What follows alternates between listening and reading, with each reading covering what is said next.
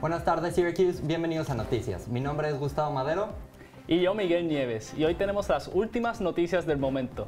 No te vayas. El mes de la historia afroamericana ha comenzado y aún hay tiempo para participar en los próximos eventos. La Oficina de Adultos Multiculturales y Diversión de Experiencias Estudiantiles han colaborado para honrar las tradiciones de la diáspora afroamericana a través de sus programaciones. Quedan ocho eventos para que se acabe el mes, incluyendo la gala Celebrando la Excelencia Negra. El evento se llevará a cabo el 25 de febrero de 7 de la noche en el Auditorio Goldstein. Los boletos son gratis y están disponibles a través de la taquilla estudiantil. Para más información de la gala y de los próximos eventos del mes de la historia afroamericana, visiten la página web de Asuntos Multiculturales. Syracuse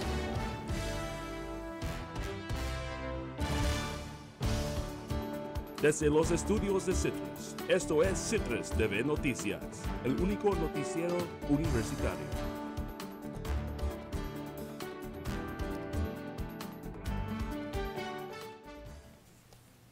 Syracuse permanece en solidaridad con Turquía debido a los recientes terremotos devastadores que sacudieron en Siria y Turquía.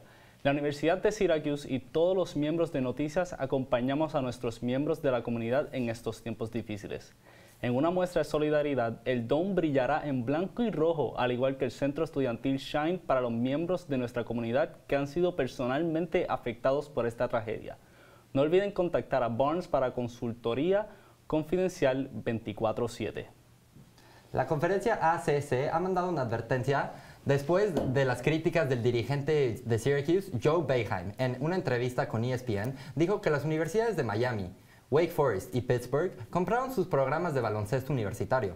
Los tres equipos han traído jugadores nuevos del portal de transferencias e incluso un jugador de Miami fue otorgado un contrato de patrocinio de 800 mil dólares para que formara parte del equipo. La conferencia dijo que los comentarios no están en línea con los ideales de deportividad. Beheim se ha perdonado sobre sus comentarios y cree que los equipos sí están siguiendo las reglas. El artista Rob Armstrong visitará Bird Library el próximo 9 de marzo. Hablará sobre su trabajo de dibujos animados y su proceso de crear historias a través del arte. Su taller también incluye un almuerzo gratis con el pintor. Estudiantes tienen que registrarse para asistir al taller de Armstrong antes del 3 de marzo. El taller empieza a las 10 de la mañana y se termina a las 1 de la tarde. No te lo pierdas. Gustavo, ¿Qué piensas del clima? Bueno, con este calor se siente que ya estamos llegando a primavera. Pues, ¿Por qué no le preguntamos a nuestra ancla Anabel, que ella sabe más? Bueno, Miguel y Gustavo, ha sido un día soleado y bonito. Próximamente tendremos más información sobre el clima de la semana. Syracuse, les tengo buenas noticias. Después de dos semanas frías, lluviosas y nubladas, el sol finalmente ha salido. Hoy tuvimos un día hermoso, cálido y soleado. Ahora mismo tenemos una temperatura de 41 grados con un viento placentero de solo 2 millas por hora.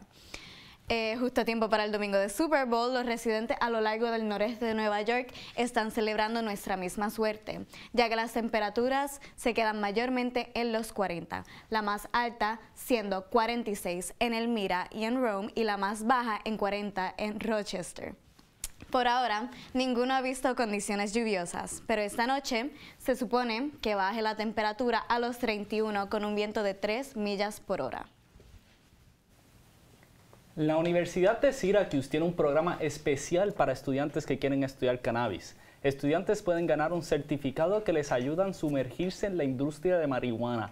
Además, estudiantes pueden trabajar a sus propios ritmos porque eh, todo el trabajo para las clases está completado por el Internet. Para más información, visita a cannabisparttimesyr.edu.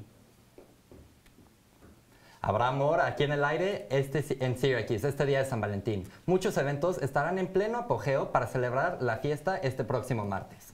Al mediodía, la Gerencia de Sustentabilidad entregará bolsas de regalo para el día de San Valentín en el Centro Estudiantil Shine. Las bolsas de regalo contendrán semillas de siembra y otras sorpresas en el lado superior del campus. El Museo de Arte, a partir de las 2 pm, estará celebrando el evento Pausa de Arte, donde puedes crear tu propio símbolo de amor inspirado en el arte y práctica de Rina Bangeri. Para completar el día, el Centro de Recursos LGTBQ está organizando un evento queer de San Valentín donde puedes tú encontrar tu propio encontramiento tierno a partir de las 7 pm. Próximamente, en noticias, continuamos observando objetos espaciales sobre la nación. Se reportan las acciones sobre las medidas tomadas por el gobierno norteamericano. Entérate los últimos detalles aquí en Noticias todos los domingos.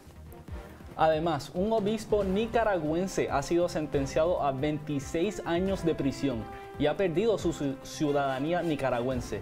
Es visto como una amenaza por el presidente de Nicaragua. No te vayas, Syracuse. Fueras a ese lugar secreto, a ese lugar que solo tú conoces, y en vez de lo que buscabas, encuentras esto, ¿qué harías? ¿Te detendrías a pensarlo? La verdad es que todo consumo de drogas conlleva riesgos. Antes de que esos riesgos se vuelvan reales, antes de que las drogas pongan tu vida al revés, antes de que las drogas te afecten a ti y a tu familia, debes saber que cuentas con la ayuda necesaria. Tú puedes dejarlas. Si tú o un ser querido están luchando contra el uso indebido de drogas o medicamentos, llama al 1-800-662-4357 para información confidencial y gratuita las 24 horas y remisión a tratamiento. O visita samsa.gov diagonal conoce los riesgos. A diferencia de otros problemas de salud, las enfermedades mentales no siempre son visibles. Tercera línea, por favor. D, E, P, R, E, S-I-O-N. Las enfermedades mentales no se miden sobre una báscula. ¿Bipolar? ¿Mm? Identificar una enfermedad mental no es algo que debe intentar por su cuenta. Hmm. Ansiedad. Me lo imaginaba. Las enfermedades mentales requieren diagnóstico y tratamiento profesionales, y entre más rápido busque tratamiento, mejor. Mira, 6.000 pasos y trastorno de estrés postraumático. Ah. Si usted o un ser querido tienen un problema de salud mental, no lo trate por su cuenta. Para información confidencial y gratuita y remisión a tratamiento las 24 horas, llame al 1-800-662-4357. Infórmese en samsa.gov diagonal ayuda.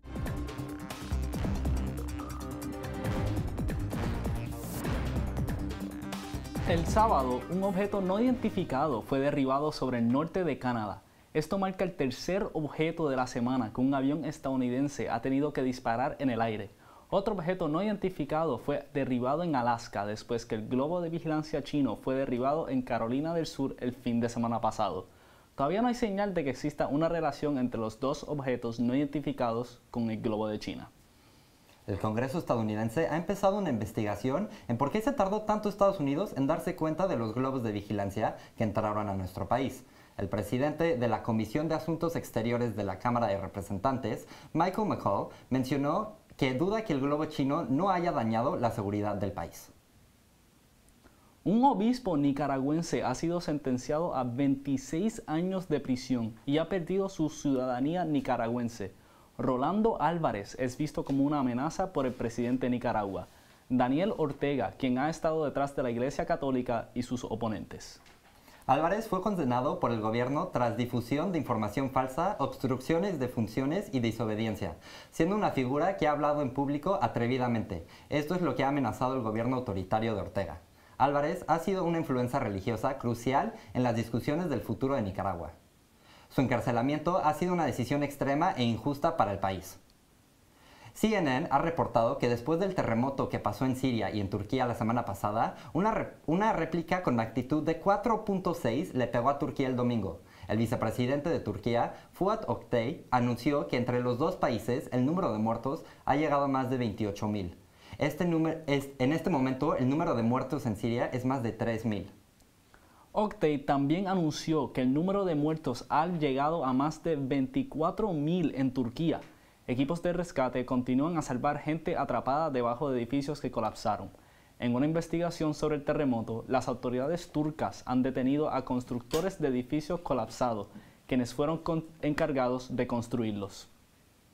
Este lunes, fiscales estadounidenses le pedirán al jurado de 12 personas que autoricen la pena de muerte contra Saifuyo Saipov. El señor Saipov fue declarado culpable el mes pasado por el asesinato brutal de ocho personas que atropelló en el camión en el Halloween del 2017. Este acto es considerado como el ataque terrorista más brutal en Nueva York después del 9-11.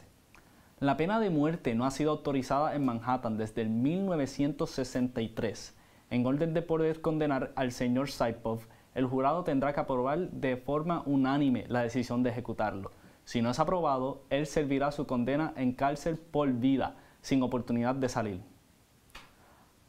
Afortunadamente, esta semana tenemos unos climas bastante cálidos, pero Hay que preguntarle a Anabel. hay que preguntarle a Anabel. Bueno, pues sí, esta semana, afortunadamente para nosotros, tendremos unos climas bastante cálidos, como dijo Miguel.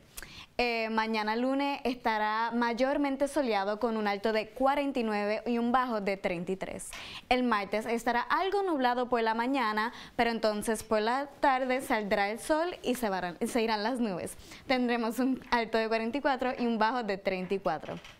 El miércoles estará parcialmente nublado, pero como quiera veremos el sol con un alto de 48 y un bajo de 44. El jueves se daña el patrón, ya que tendremos algunas lluvias ocasionales con un alto de 52 y un bajo de 36. El viernes se pondrá eh, algo raro, ya que tendremos lluvia por la mañana, pero ya por la tarde no tendremos lluvia, tendremos nieve. Tendremos un alto de 53 y un bajo de 21. El sábado vuelve a salir el sol con un alto de 38 y un bajo de 19, que es un poco frío, pero estará mayormente soleado, así que no está nada de mal. Dado los, dado los climas este, espectaculares que vamos a tener esta semana, no se sorprendan si ven a personas sin chaqueta o hasta en pantalones cortos, especialmente el miércoles. No se olviden de sus paraguas para el jueves y para el viernes, porque aunque estará bastante, cali- eh, bastante cálido, como quiera, va a llover. Este, mañana por la mañana va a estar bastante soleado con un clima de 33 grados y vientos de 11 millas por hora. Sin embargo, ya durante el día se va a poner aún más cálido, veremos cómo se quedan los 40 y hasta puede que suba a los 50 si es que tenemos algo de suerte. No se descuiden porque aunque el sol va a estar afuera y va a estar bastante cálido, se supone que los vientos se queden arriba de 10 millas por hora, así que manténganse al tanto de eso. Y eso es todo lo que tenemos por el clima de hoy. Mi nombre es Anabel Canal Solivencia y les deseo una linda semana. Y ahora el momento que hemos estado esperando hablar toda la tarde. Hoy es el Super Bowl en Arizona, entre los Eagles de Filadelfia y los Chiefs de Kansas City. Miguel, ¿qué es lo que más te emociona el día de hoy? Bueno, Gustavo, lo más que me emociona del Super Bowl de hoy es que hay muchas historias detrás de este juego. Para empezar, es la primera vez en la historia del NFL que dos quarterbacks afroamericanos van a estar empezando el juego. Un momento muy grande para el NFL. Completamente. También esta es la primera vez que dos hermanos se van a enfrentar en contra en el Super Bowl, con Jason Kelsey de los Eagles y Travis Kelsey de los Kansas City Chiefs. Una historia muy grande para todo el mundo. Pero el Super Bowl, como sabemos todos, es mucho más que un juego. Gustavo, ¿qué es lo más que te emociona del juego? Yo creo que a mí lo que más me emociona, sin duda, es el show del medio tiempo. Para mí, después de ver el Super Bowl entre Shakira, el, el- el show de medio tiempo entre Shakira y J-Lo, me hizo orgulloso de ser latino, ¿me entiendes? Sí. Todo lo que viene en una performación, todo lo que los- la música, los bailes.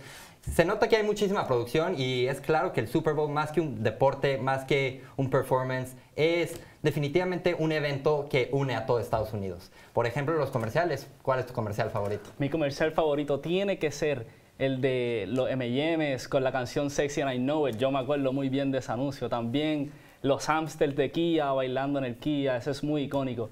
¿Y tú, cuál es tu anuncio favorito? Yo creo que mi favorito es el de State Farm con Drake. Porque la creatividad que tienen estos comerciales para traer a gente, en verdad, te hace decir, ¿sabes qué? Sí, sí quiero comprar State Farm, porque tienen a Drake y a mí me cae bien Drake. Pero hablando del show de hoy, este, ¿te gusta Rihanna? A mí me encanta mucho Rihanna. Rihanna es una cantante espectacular con canciones que todo el mundo conoce como Work, Umbrella, Diamonds. ¿Cuál es la tuya que a ti te más gusta, Rihanna? Yo creo que Disturbias de mis canciones favoritas y la verdad yo creo que esa es la canción con la que va a abrir hoy en la noche. Mm, yo- ¿Tú con cuál crees? Yo no estoy de acuerdo contigo, Gustavo. ¿No yo, crees? Creo, yo creo que ella empieza hoy con Don't Stop the Music, una canción que todo el mundo conoce. Y yo creo que con eso empieza. Pero eso es todo lo que tenemos hoy en, no- en Noticias. Gracias por apoyarnos y seguirnos. Mi nombre es Miguel Nieves. Y yo soy Gustavo Madero. Para más información, síganos en Twitter, Citrus TV News, o vayan a nuestra página citrustv.com. Linda noche, Syracuse, y disfruten el Super Bowl.